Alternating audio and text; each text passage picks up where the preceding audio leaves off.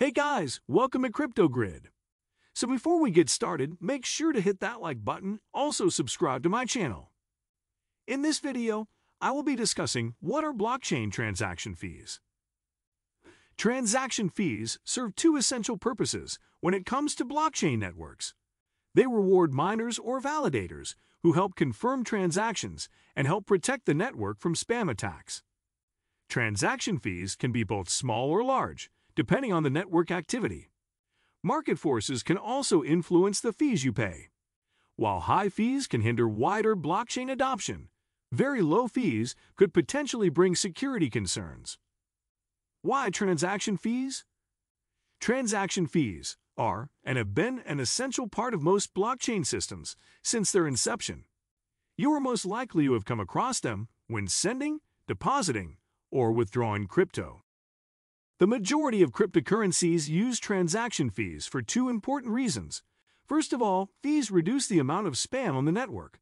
It also makes large scale spam attacks costly and expensive to implement. Secondly, transaction fees act as an incentive for users to help verify and validate transactions. Think of it as a reward for helping the network. For most blockchains, transaction fees are reasonably cheap, but they can get quite expensive depending on network traffic. As a user, the amount you choose to pay in fees determines your transaction's priority in being added to the next block. The higher the fee paid, the quicker the confirmation process. Bitcoin transaction fees. As the world's first blockchain network, Bitcoin set the standard for transaction fees used by many cryptocurrencies today. Satoshi Nakamoto realized that transaction fee could protect the network from large-scale spam attacks and incentivize good behavior. Bitcoin miners receive transaction fees as part of the process of confirming transactions to a new block. The pool of unconfirmed transactions is called the memory pool, or mempool. Naturally, miners will prioritize transactions with higher fees, which users agreed to pay when sending their BTC to another Bitcoin wallet. Malicious actors who wish to slow down the network must therefore pay a fee associated with each transaction. If they set the fee too low, miners will likely ignore their transactions. If they put them at a suitable level, they incur a high economic cost. So, transaction fees also act as a simple but effective spam filter. How are BTC transaction fees calculated? On the Bitcoin network, certain crypto wallets allow users to set their transaction fees manually. It's also possible to send BTC with zero fees, but miners will most likely ignore such transactions, meaning they won't be validated. Unlike some tend to believe, Bitcoin fees are not dependent on the amount sent, but on the transaction size in bytes. For example, imagine your transaction size is 400 bytes, and the average transaction fee is now at 80 satoshis per byte. In that case, you would have to pay around 32,000 satoshis, or 0.00032 BTC, for a good chance of having your transaction added to the next block.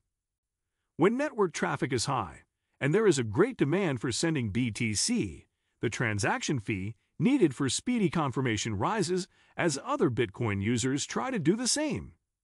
This may occur during periods of intense market volatility. As such, the high fees can make it challenging to use BTC in day to day situations. Buying a $3 cup of coffee might not be practical if the fees are much higher than that.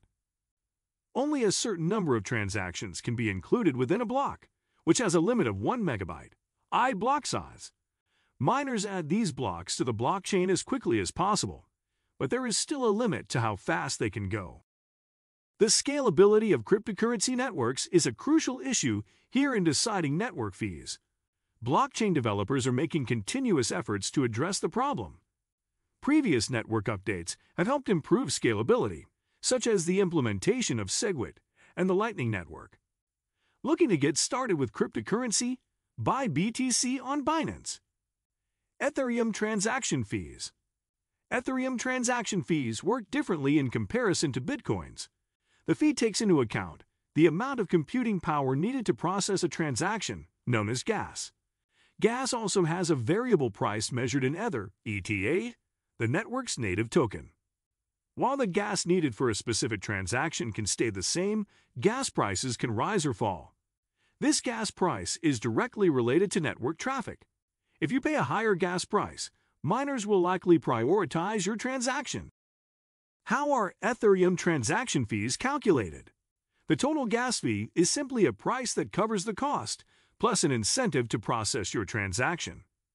However, you should also consider the gas limit, which defines what's the maximum price paid for that transaction or task.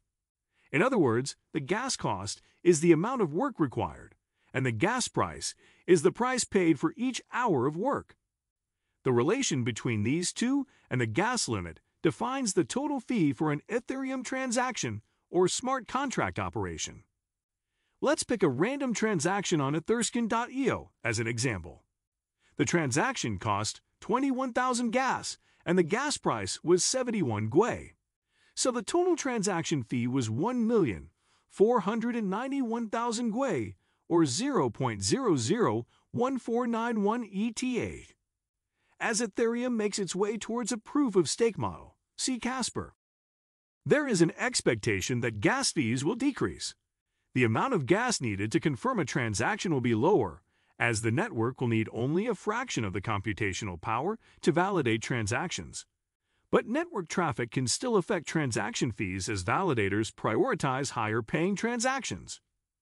Binance Chain Transaction Fees Binance Chain is a blockchain network that allows users to transact and trade BNB and other BEP2 tokens. They can also create and distribute their own tokens, Binance Chain adopts a consensus mechanism called delegated proof of stake. So instead of miners, we have validators.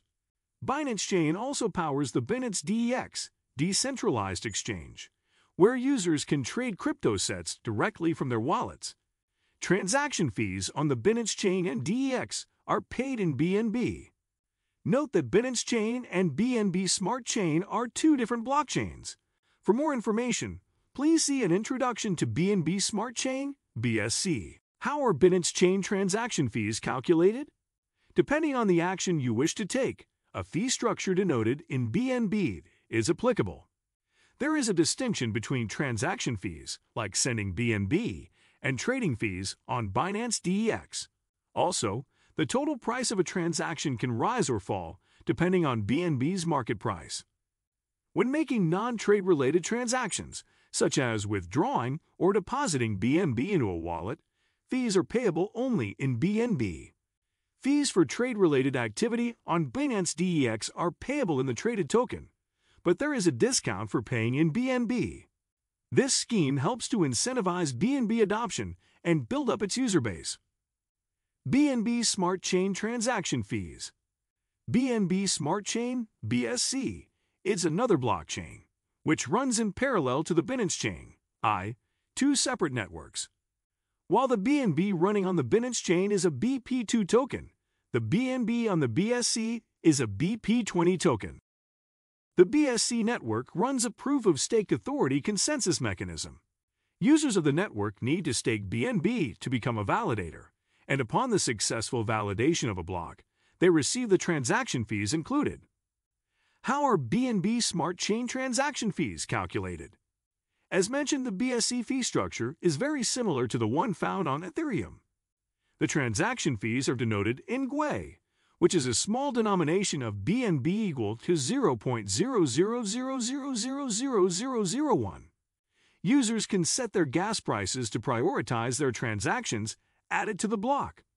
To find out the current and historical average price of gas, BscScan provides a daily average along with the lowest and highest prices paid. As of March 2021, the average fee on BSC is around 13 Gwei. Binance withdrawal fees. When you make withdrawals on the Binance exchange, you have to pay associated transaction fees. These fees vary depending on the cryptocurrency and network you use. Binance has its own fee structure for transactions that happen inside its trading platform. However, withdrawal fees are affected by external factors that are not under Binance's control. Withdrawing your crypto relies on the work of miners or validators who aren't part of the Binance ecosystem. As such, Binance has to adjust the withdrawal fees periodically based on network conditions that include traffic and demand. Binance also sets minimum limits on the amount of crypto that can be withdrawn. You can look up the current limits on the fee schedule page. Trading fees are based on your account VIP level and are independent of withdrawal fees. Your cumulative monthly trading volume determines your account's VIP level. The maximum fee currently charged is 0.1% of the crypto traded as both a maker and a taker. Keep in mind that users who pay in BNB will have lower fees when trading. What do you think of our video? Let me know in the comments section below. Thank you for watching.